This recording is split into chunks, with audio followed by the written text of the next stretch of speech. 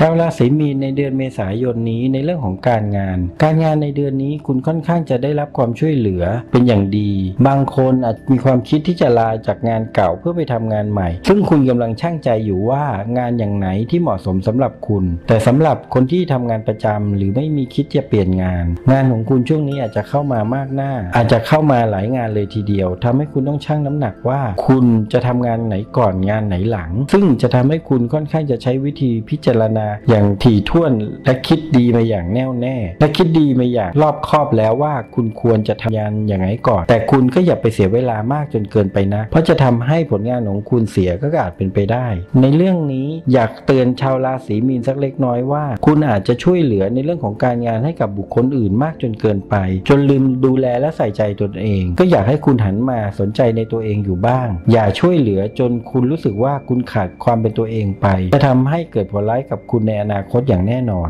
ในเรื่องของการเงิน การเงินของชาวราศีมีน ชาวราศีมีนในช่วงนี้อาจจะมีค่าใช้จ่ายเกี่ยวกับการช่วยเหลือคนนั้นช่วยเหลือคนนี้ ไม่ว่าจะเป็นบุตรหลานบริวารเพื่อนฝูงข้าวของบ้านช่อง ซึ่งอาจจะมีค่าใช้จ่ายพอสมควร แต่คุณก็ยังมีเงินที่จะมาจับจ่ายใช้สอยเกี่ยวกับเรื่องพวกนี้ได้มากอย่างที่คุณไม่จำเป็นที่จะต้องเดือดร้อน ในเดือนนี้คุณอาจกำลังมีการช่างใจอยู่ ว่าคุณจะซื้ออะไรดี มีอะไรในใจอยู่ที่คุณอยากได้อยากปรารถนาที่จะซื้อหามัน ซึ่งคุณก็พยายามคิดและพิจารณาอย่างรอบคอบ ซึ่งมันจะเป็นผลดีกับตัวคุณเอง และคนในครอบครัวอย่างแน่นอน เกี่ยวกับการบริหารและการใช้เงินของคุณ ดังนั้นการเงินของคุณช่วงนี้ หากคุณคิดว่าหรือกังวลใจว่าจะเกิดปัญหา เชื่อได้ว่าหากคุณได้ใช้อย่างพอเพียง อย่างรู้จักเหตุและรู้จักผลในการใช้ การเงินของคุณก็จะเข้ามาได้ดี และคุณก็จะสามารถบริหารการเงินให้กับตัวคุณเองได้ โดยที่เดือนเมษายนนี้การเงินของคุณจะไม่มีปัญหาเลยทีเดียว ในด้านความรักความรักสำหรับคนโสดช่วงนี้คุณค่อนข้างจะให้ความสำคัญกับครอบครัว